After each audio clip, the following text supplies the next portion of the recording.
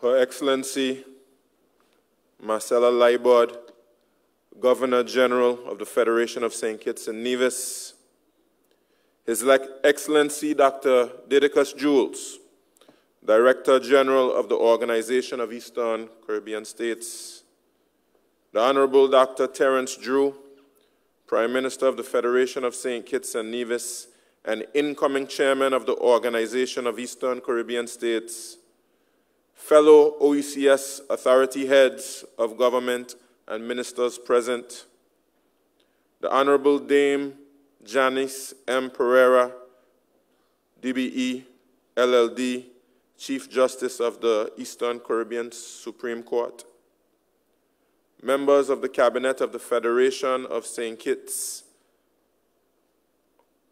and Nevis, the Honorable Lanein Blanchette, Speaker of the National Assembly of the Federation of St. Kitts and Nevis, Honorable members of the National Assembly of the Federation of St. Kitts and Nevis, OECS commissioners, ladies and gentlemen, a very pleasant good afternoon to all of you. Let me first begin by congratulating Prime Minister Drew on assuming the chairmanship of the OECS Authority, and also thank outgoing Chairman, Premier of Montserrat, Honorable Joseph E. Farrell, for his leadership over the past year. It is a great honor for me to once again deliver an address at the opening ceremony of an OECS Authority meeting this time as the most recently elected head of government.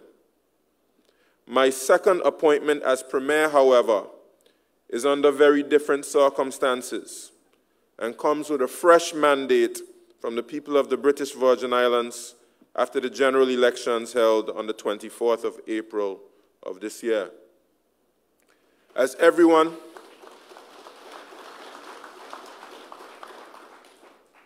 as everyone is aware, the British Virgin Islands' path to a general election was not easy. We face very difficult and uncertain circumstances.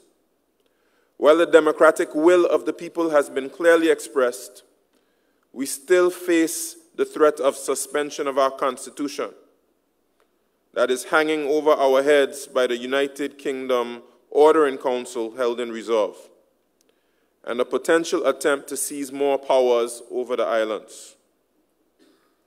I'm very conscious that would not be here this afternoon as a newly elected premier without the unwavering support and intervention of the OECS.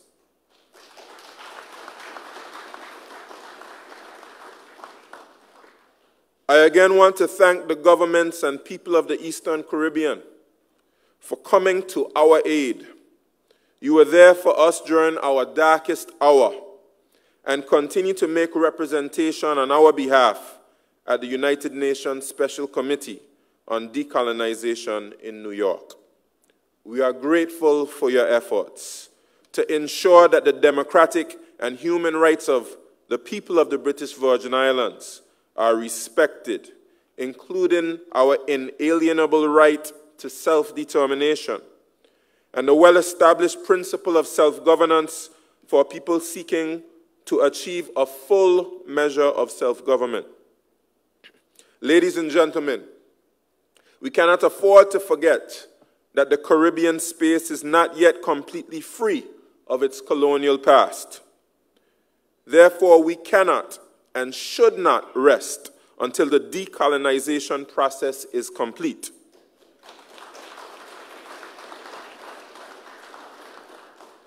Until all our people have received reparatory justice for the enslavement of our ancestors in these islands.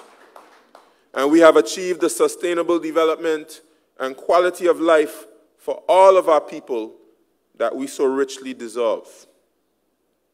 In this regard, the OECS is special because it brings together our governments and people in a way that overcomes the political barriers created by the colonial experience we are able to sit together at one table, independent and non independent, to support each other and forge a brighter future.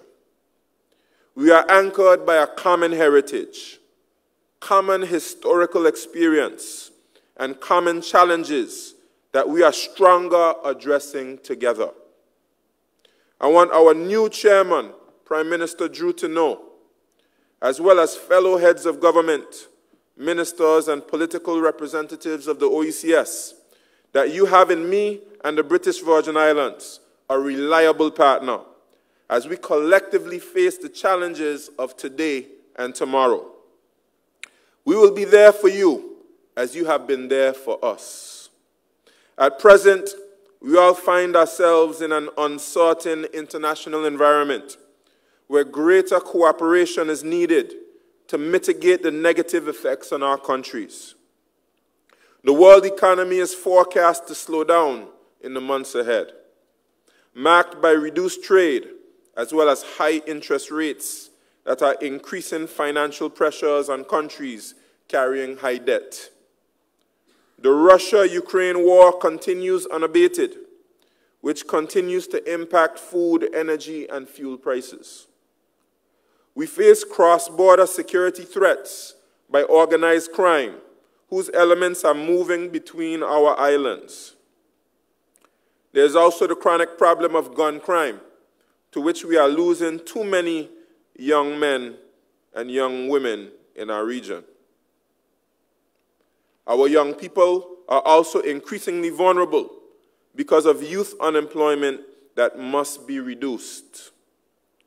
Contact between the people of the Eastern Caribbean and the ability of families, visitors, and business people to get around is hampered by the current limitations of intra-regional transportation.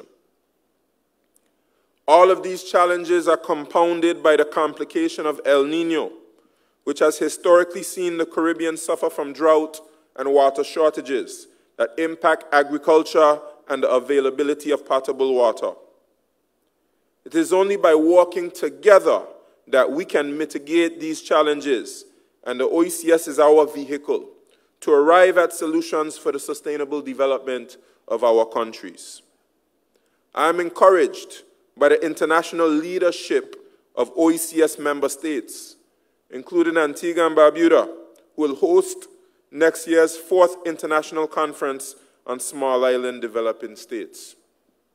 St. Vincent and the Grenadines will host a regional preparatory uh, meeting in August, and I commend them as well. The OECS is demonstrating our influence on the world stage and showing that it's not limited by our size. It is our principled and moral positions on issues such as the climate crisis and sustainable development that are resonating with the rest of the world. It is Caribbean leadership that has called for our planet to be preserved so that all of the peoples of the world can live without climate risks, which we in the OECS experience every year in terms of hurricanes and sea level rise. The OECS must stay on the forefront of these issues for the sake of our people and their genuine desire for sustainable development. Ladies and gentlemen, as I close, I again want to express my gratitude for this opportunity to address the opening ceremony and thank the OECS for your support to the British Virgin Islands. I'm thrilled to be here in the Federation of St. Kitts and Nevis, and I thank you for your gracious hospitality. God bless the OECS. I thank you.